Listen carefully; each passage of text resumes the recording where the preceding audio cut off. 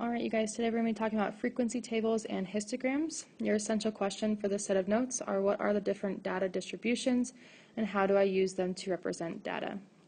So our first thing we're going to be talking about is frequency tables. So this is used to show how many of each number are in a data set.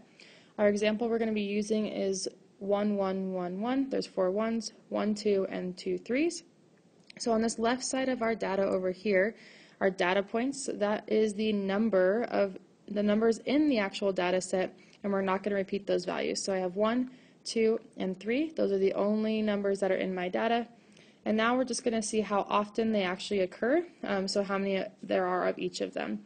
So I know that there are one, two, three, four ones, so I put a 4 right there. There's two, or sorry, 1, 2, and then two threes. Alrighty. Um, so the other thing I want to talk to you guys was about our bar graphs here.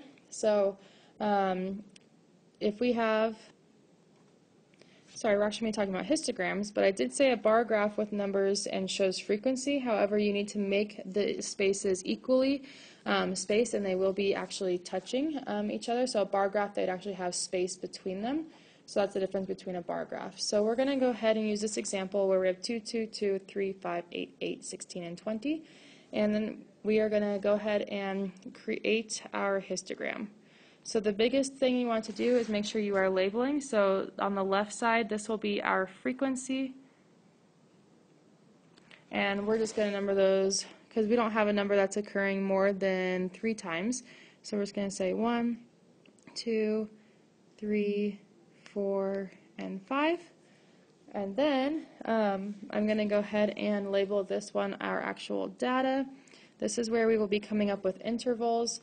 So if I do an interval, let's say um, we're going to do from 0 to 5, then we're going to go from 6, so 0, 1, 2, 3, 4, 5 is actually 6 numbers, so 6, 7, 8, 9, 10, 11 and then 12, 13, 14, 15, 16, 17. And then we have 18, 19, 20, 21, 22, 23. We don't have any numbers higher than 23. So now I'm going to count all the values from 0 to 5. 1, 2, 3, 4, 5.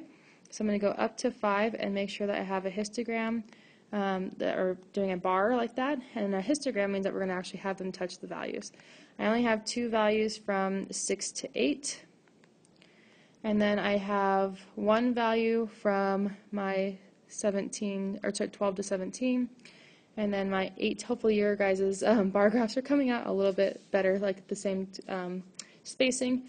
And then 18 to 23, I just have one value again. So again, I should have my bars all kind of similar to that. All right, you guys, that is it for our set of notes today. I'll see you in class.